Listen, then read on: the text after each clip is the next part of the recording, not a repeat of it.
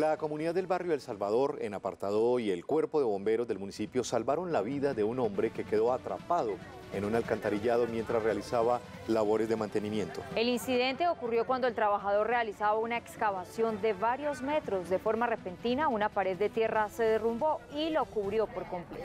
Al percatarse de lo sucedido, la comunidad se acercó al lugar del incidente con herramientas para rescatar a este trabajador. Al mismo tiempo, avisó al cuerpo de bomberos de apartado que acudió al lugar y con equipos especializados ayudó a sacar con vida al hombre atrapado.